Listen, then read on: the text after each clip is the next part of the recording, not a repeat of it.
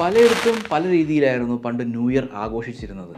എന്നാൽ കഴിഞ്ഞ നാലായിരം കൊല്ലങ്ങളായി നമ്മൾ ന്യൂ ഇയർ ആഘോഷിക്കുന്നുണ്ട് എന്നുള്ളതായിരുന്നു. ആദ്യമായി ന്യൂ ഇയർ ആഘോഷിച്ചത് രണ്ടായിരം ബി സിയിൽ ബാബിലോണിയൻസ് ആയിരുന്നു അവരുടെ റിലീസ് ഫെസ്റ്റിവൽ ആയിരുന്ന അക്കീറ്റു എന്ന് പറയുന്ന ഫെസ്റ്റിവലിലൂടെയായിരുന്നു അവർ ന്യൂ ഇയർ ആഘോഷിച്ചിരുന്നത്. ന്യൂ ഇയറിന് തുടക്കം വേണമെന്ന് വെച്ച് കഴിഞ്ഞാൽ വെർണിയർ ഇക്കണോക്സിന് ശേഷമുള്ള ഏറ്റവും ആദ്യ മൂൺ റൈസ് ആയിരുന്നു അവരിതിന് തുടക്കമായി കണ്ടിരുന്നത്.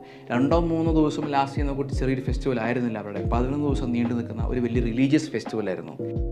ഇതിന് അതിന്റെതായ കാരണങ്ങളുണ്ട്. ഇതിന്റെ ഒരു കാരണം എന്താണെന്ന് വെച്ച് കഴിഞ്ഞാൽ അവരുടെ സ്കൈ ഗോഡായിരുന്ന മുർദുഖ് എന്ന് പറയുന്ന ഗോഡ് ചീത്ത ഗോഡസ് ആയിരുന്ന ടിയമാറ്റിനെ തോൽപ്പിച്ചതിന്റെ ഒരു പെർട്ടിക്കുലർ സിഗ്നിഫിക്കൻസ് കൂടി അവരെ ആചരിക്കുന്നു എന്നുള്ളതാണ്.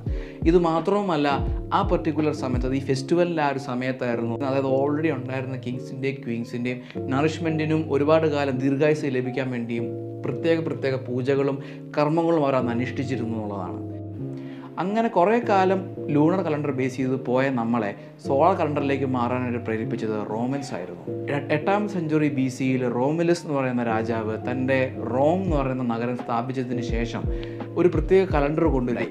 പത്ത് മാസവും മുന്നൂറ്റി നാല് ദിവസവും അടങ്ങുന്ന ഒരു പ്രത്യേക കലണ്ടർ ആ കലണ്ടറിന്റെ മെയിൻ പ്രത്യേകതകൾ ഇതൊക്കെ തന്നെയായിരുന്നു. അതായത് തുടക്കം മാർച്ചിലും എൻഡ് ഡിസംബറിലുമായിരുന്നു അങ്ങനെയാണ് ഒക്ടോബർ എട്ടാം മാസത്തിന് ഒക്ടോബർ ഒമ്പതാം മാസത്തിന് നവംബർ പത്താം മാസത്തിന് ഡിസംബർ. അതായത് ആ പർട്ടിക്കുലർ ഗ്രീക്ക് നെയ്മിങ് തന്നെയായിരുന്നു ഇത് നെയിം ചെയ്തിരുന്നത്.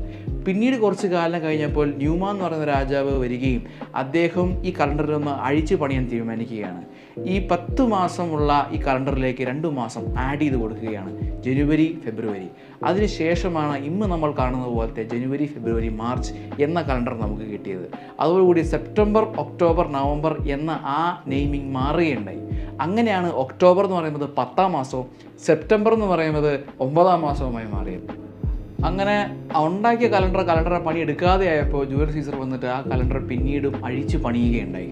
അങ്ങനെ ഒരുപാട് മാത്തമാറ്റീഷ്യൻസിന്റെ സയന്റിസ്റ്റിന്റെ സഹായത്തോടെ തയ്യാറാക്കിയ അദ്ദേഹത്തിന്റെ പുതിയ കലണ്ടർ ജൂലിയൻ കലണ്ടർ അദ്ദേഹം അദ്ദേഹത്തിന്റെ കൺട്രിക്കായി കൊടുത്തു.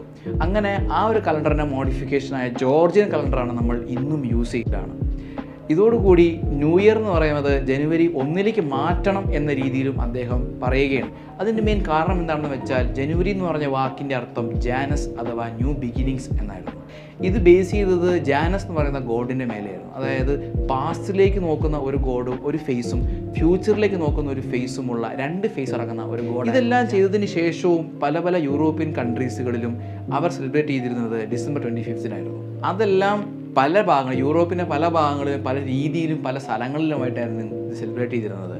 അവസാനം പോപ്പ് ഗ്രിഗറി ദ തേർട്ടീൻത്ത് ഒരു വെർഡിക്റ്റ് പ്രൊഡ്യൂസ് ചെയ്യുകയാണ്. ന്യൂ ഇയർ സെലിബ്രേഷൻസ് എല്ലാം ജനുവരി ഫസ്റ്റിലേക്കാണ് കിടന്ന്. അങ്ങനെ ഫിഫ്റ്റീൻ എയ്റ്റി ടു തൊട്ടിട്ടാണ് നമുക്ക് ഇപ്പമുള്ള ന്യൂ ഇയർ സെലിബ്രേഷൻ പോലത്തെ ന്യൂ ഇയർ സെലിബ്രേഷൻ കിട്ടുന്നത്. എന്നാലും പലതരം കൺട്രീസും അതായത് ചൈനീസും ഇസ്ലാമിക് കൾച്ചേഴ്സും ഇപ്പോഴും ഫോളോ ചെയ്യുന്നത് ലൂണർ കലണ്ടറാണ് അപ്പോൾ ഇതൊക്കെയാണ് ന്യൂ ഇയറിനെ പറ്റിയുള്ള സ്പെഷ്യൽ ആയിട്ടുള്ള കുറച്ച് ഫാക്സും ഇൻഫർമേഷൻസും കാര്യങ്ങളൊക്കെ. നിങ്ങൾ എൻജോയ് ചെയ്യുന്നു വിശ്വസിക്കുന്നു നിങ്ങൾ എൻജോയ് ചെയ്തിട്ടുണ്ടെങ്കിൽ ആ സബ്സ്ക്രൈബ് ബട്ടണും ലൈക്ക് ബട്ടണും ഒക്കെ ഒന്ന് പിടിച്ചു വെക്കുക ഈ വീഡിയോ എല്ലാവർക്കും ഷെയർ ചെയ്യുക. So this G B my signing off signing off means channel see in the next video until then bye take care